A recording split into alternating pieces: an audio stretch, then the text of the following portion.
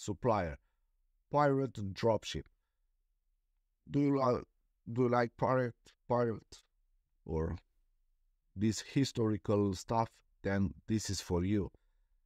Here you find different kind of clothes, private uh, collection, uh, everything. Uh, by the way, if you are new on my channel, I want to tell you this.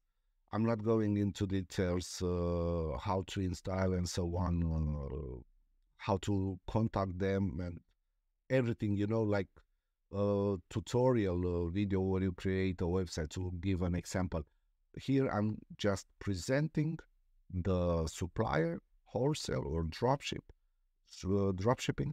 The hard work it is in your side that you have to contact and so on.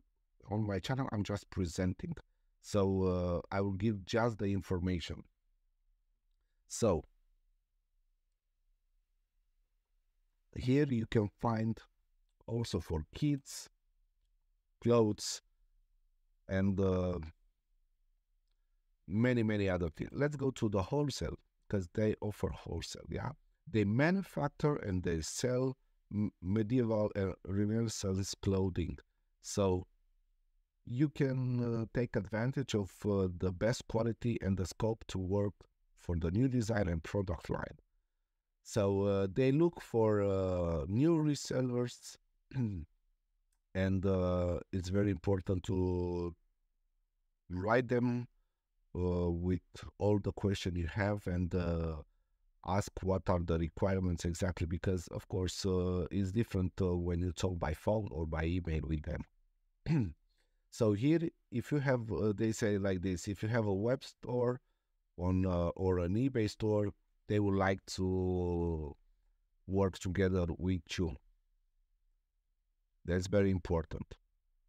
The website it's only this website it's only for dropship customers. The one that I'm presenting you, it is just for dropshipping. So if you just want dropshipping, this is the one. If you look for the wholesale, then you have to go to the piratedressing.com. That's a totally different thing.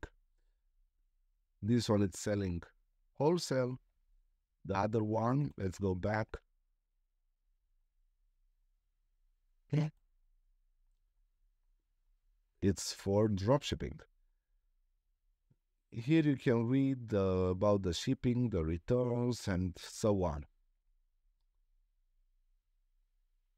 Okay, I need to be, I need to have um, an account to can see the the price.